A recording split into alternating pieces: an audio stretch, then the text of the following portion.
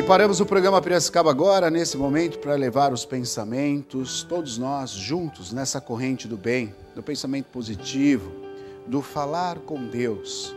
Todos nós sabemos que a oração é a prática da fé, é a fé, a fé que ultrapassa os nossos problemas, as nossas dores, é a fé que, elevada ao nosso Senhor Jesus Cristo, ao nosso Deus, elevamos o nosso pensamento, elevamos junto com a nossa família, com os nossos amigos, com todos da cidade de Piracicaba e das outras cidades, elevando o pensamento nesse momento de meditação ao nosso Senhor Jesus Cristo.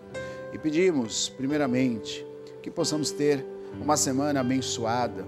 Início de semana, segunda-feira, que podemos ter uma semana abençoada, repleta de realizações, de muita proteção, principalmente de muita saúde.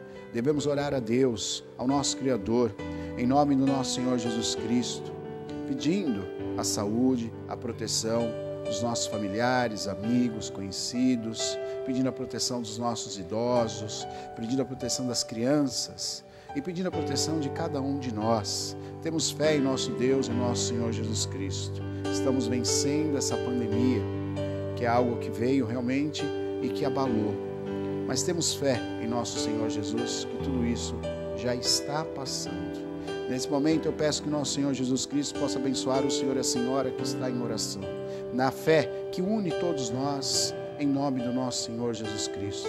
Pedindo também que abençoe o seu lar, o lar sagrado, protegendo a sua família, seus filhos, seu marido, sua esposa. E que possamos ter a oportunidade dessa semana da porta que se abre, a oportunidade para o trabalhador encontrar o trabalho, a oportunidade da cura para os enfermos e, claro, a proteção de todos. E eu clamo isso em nome do nosso Senhor Jesus Cristo. Que nosso Senhor abençoe a todos. Que assim seja, em nome do nosso Senhor Jesus. Amém.